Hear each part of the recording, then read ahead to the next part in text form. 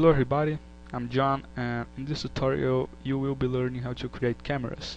So let's go ahead and create a simple scene. Just going to create a plane and some primitives. Just change the color of this.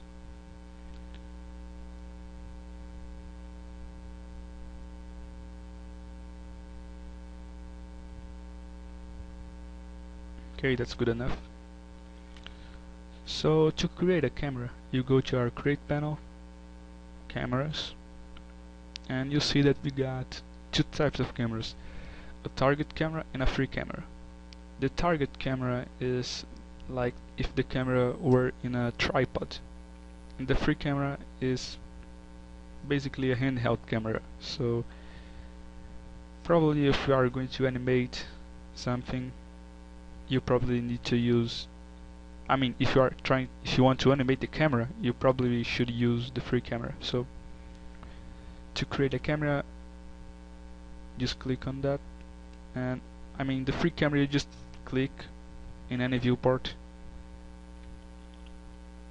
depending on the viewport you click you probably have to rotate it. And the target camera you just click and drag so you see that we got a camera and a target right here. I can do anything I want with it. I can move the camera up. Can move the target up. Can drag the camera a little bit away. That's pretty much it so to set the camera properties you just select the camera go to your modify panel and here we got some simple prop properties. So I can change the lens millimeters the field of view the same thing. Ortho orthographic projection stock lenses some default presets I can oh that's nice. I can change the type of the camera so I made a target camera but I can change it to free and you see the target just vanished. And here he is again. Show cone, show horizon that would show in the render. Uh, that's nice environment ranges so if I press show uh, I can see the range of the camera. So if you're not sure if your camera is getting everything in the scene you just check this and I can increase or decrease the range. It's a good thing if you have a doubt about something. Uh, going to check this. Clipping planes no big deal. Multipass effect so this is to enable some effects that are applied to the camera such as depth of field or motion blur. There are others but not here right now.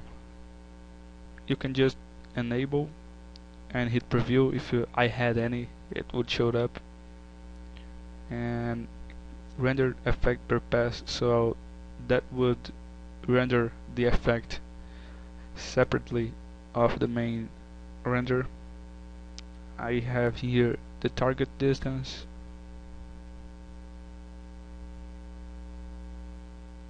I could also move the object the object no I'm sorry the target the same thing uh, something else? Uh, here we got the depth of field parameters but I won't talk about it. I'll do another tutorial later about depth of field and motion blur. And that's all the parameters. The free camera is exactly the same thing so I won't talk about it. And that's okay. So to show the camera view in the viewport you just in any viewport doesn't have to be in a perspective but I'm going to select it right here. So you go to perspective and I can select my camera. And as you see now I have the camera view. So if I move my camera in any other viewport I would move in the perspective Uh, I guess that's it. If you are going to render it from the camera you probably already saw my tutorial so I won't talk about it how. But anyway if you want to render the camera in the render setup you just right here in the view you just select your camera and render pretty simple so I guess that's it oh also you can animate your cameras so I'm going to animate this really fast like Damn it. damn it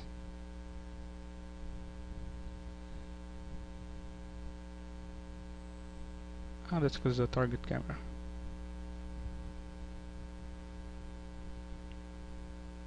So I can animate it.